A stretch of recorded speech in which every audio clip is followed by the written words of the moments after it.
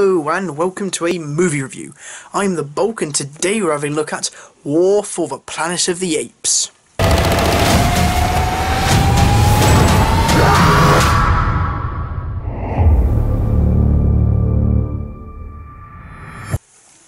The film is directed by Matt Reeves and follows the leader of the apes, Caesar. Now, um, at the end of the second film in the series, um, a villainous rebel ape, um, caused a, um, started a war between humans and apes, one of which Caesar did not want. Now, this is set two. This film is set two years after the beginning of that conflict, and Caesar is fed up. He doesn't know. He want doesn't want this fight. He doesn't want to be involved in this conflict, and he wants to move on from it. All he wants to do is lead his apes away to safety where the humans can't get it, so that they can live in peace. He even offers um, peace to the humans at multiple points. Now, um, as he's going on, eventually an assassination attempt is carried out against him by the villain of this piece, the Colonel. Now, this assassination attempt results in the death of Caesar's wife and son, leading him on a path of revenge. So, what's good about this film?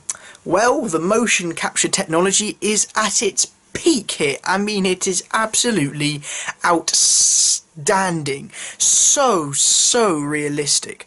I mean, in recent years, um, CGI technology has gotten better um, as we've progressed, and you can tell that a lot of work has been put in by the many, many, many animators that they had on making these apes look realistic. Then they, trust me, they look like real apes. And I know that's been said before. I mean, last year we had it with um, the Jungle Book. They look really um, good, and in um, Dawn of the Planet of the Apes we had the same thing that looked really good. But here it is absolutely outstanding, and I mean that. It really blew me back. It looks absolutely beautiful the way that they look um, and also just the way that they're able to help convey um, like the actors' um, emotions and so forth that they're giving off is, is really, really, really good here. Andy Serkis as lead ape Caesar is again brilliant.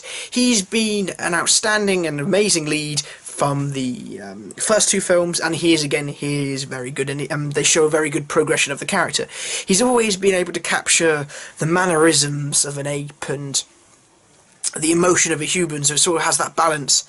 So why he is an ape and he isn't human, he sort of still captures the intelligence and emotion that you would associate with um, a human being, and it he blends it so well with it. He, he's a very um, he's very good at his craft. He's a very prolific um, motion capture artist. You also see his work in Lord of the Rings as Gollum, in the remake of King Kong, as Kong, um, and also recently in Star Wars Episode 7 where he played Supreme Lord Snoke.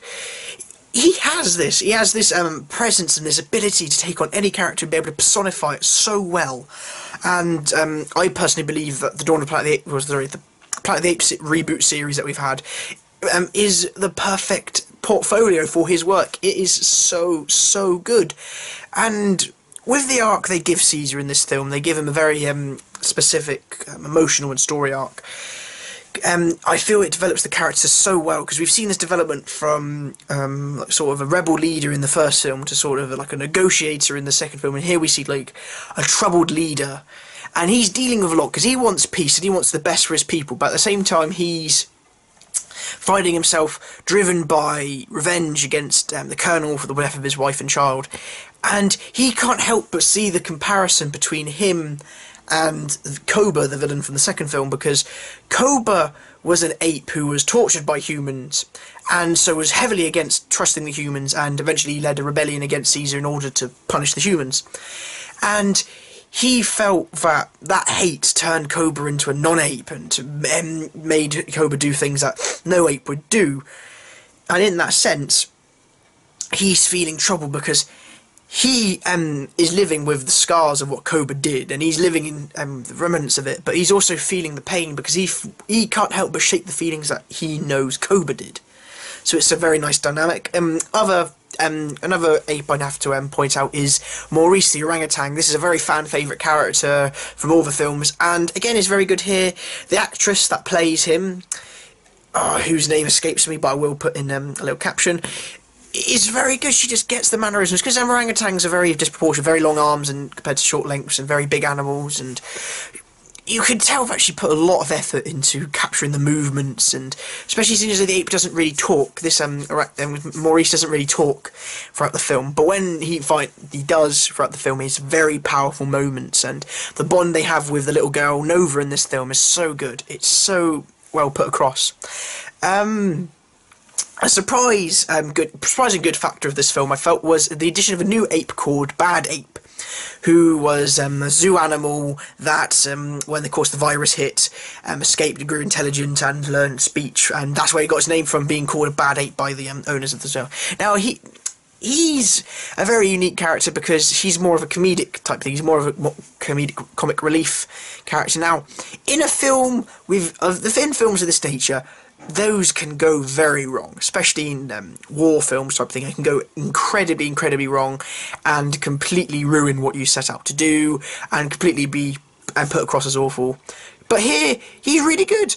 Um, the comedy with it is more subtle, more subtle comedy, more to do with his mannerisms and the more the way he thinks than anything. And if anything, it just adds this little air of lightheartedness to a rather dark story. And I feel that it adds a certain element that gives a bit of a break, more of a release from all the dark elements. And depending on how, your tastes, really, it's not overly comedic, and I think it's just enough that you need. Um, final acting role I feel that um, I need to highlight is Woody Harrelson as the villain, the Colonel. Now, it's, it's a bit hard because with these films, you're meant to sympathy for the apes, but at the same time, as we're human beings, we kind of feel sympathy for humanity because it's when it's you realise that humanity's basically fucked, and at a point of no return. And it's sort of when I'm watching when watching this, it's sort of you you feel that you feel that de- um, to definite, and you kind of feel f- they don't paint him as a straight villain. I feel because they give um they give you chance to see his side of the story and see what he's had to give up and sacrifice for humanity, and you see his mindset, and they do ex- and they sort of do explain his motivations. And while he does a bit more villainous than you sort of would hope, because you would hope he was a bit more ambiguous character, he's a very well performed character. Has very powerful scenes with Caesar. Um, and their conflict fuels the film very well. Uh, building up to, of course, his revenge, and when he finally gets the act of revenge, it's a very subtle thing. And that sort of that leads me into another thing. The way that Matt Reeves, the director and writer, structures the film is a very, very subtle film, and sort of leads me to think, why did they bother calling it War for the Planet of the Apes? Because it's a lot subtler than the title thinks. There's not there are battle sequences, there are stunning action sequences and so forth, and there is this sense of a conflict, but you don't really get like it's not really as bombastic as they um, make it out to be. I know they can't do like I call it battle because that's already been done, and I know um, other names like struggle wouldn't really um, kind of live up to it much. But I, it's a much more subtle film, and I can give him credit for it. That um, he, he plays it very straight faced. Now, with a series about talking apes and, and humanity's um, extinct, basically, you have the problem of it being not taken seriously, which is um, always going to hinder your films. And um, in the audience, when I was watching it, there was a few people that clearly weren't taking it seriously. But he, he, does. They do take it so seriously. They portray a story that you could relate to, even though this is such an outlandish situation. And he has a very good mastery of landscapes and uh, wide shots and um, close-ups of the emotional bits. And he just has a he has this um reign over um how to do things and how to shoot things and how to frame it. That you can tell um, he knows how to um, do it to heighten emotion and he knows to do it how to give you this landscape how to give you the sense of scale to everything. And it, it just works together very well to translate the emotion and the beauty that he's trying to convey in the story. And also I must give kudos to the musical score for the film as well. That's also very good um, heightens the tension and um, feel of the film at many points in terms of negatives, I don't overly have much, really. There's only one thing I can point out, that is sort of a lot of the plot, plot points in this are very samey. By which I mean, sort of certain little elements um, you've seen before. The ending, especially the way um, the film ends, is very is it's been done before by a few films this year actually as well. It's been done before, and the problem I have with it is like, okay, get it, I get it. Um, it it ends the trilogy the way you want it to end, and it perfectly can brings it over to the um, original series, I get it. But the thing is, I can't help but feel a bit pained by the fact that they did a certain thing. And it's natural, it's not like it's forced, but oh, there's, there's this, a certain plot point at the end that I sort of didn't really get on with too much. Um, and a few other little minor plot points here and there that I sort of thought were a bit um, generic, but they do weave it into the narrative quite well, so I, um, I can't really say much against it. Overall, I really, really, really enjoyed this film. It is absolutely amazing, and I do mean it. It is very, very good. It appeases anybody. If you're an action fan, it will appease you. If you're a fan of um, more serious um, drama type thing, it will appease you. If you just want a good time, it will appease you. It is a very, very well made movie. In terms of how I would rank this with the other films, um, I say it's better than um, the first in the th trilogy, Rise, but that's mainly because it was that was more of a slow burn than uh, you would think, um, and in also in terms of uh, Dawn, I think it's very hard to see which one's better. Dawn is a it also is a spectacular movie, and it's sort of this I don't know really, because with Dawn they had a compelling story with Koba and the conflict between the humans then, but in this one they also do they do have a conflict, um, compelling story with um, the Colonel and the, um, the um, journey that uh, Caesar goes on. So sort of I'm caught in the middle really, because that while I do want to um, say that this one is better than Dawn and make it the best out of the trilogy, I am sort of held back slightly. However, I do, I would rank it um, just the same as Dawn, and for that reason, I'm going to give this film a 9.5 out of 10. So, thank you for watching. What have you have you seen War for the Planet of the Apes? Um, what did you think of this reboot slash prequel trilogy? Please let me know down below. And while you're down there, please give that like and subscribe button a little tickle. And I'll be seeing you next time. Goodbye.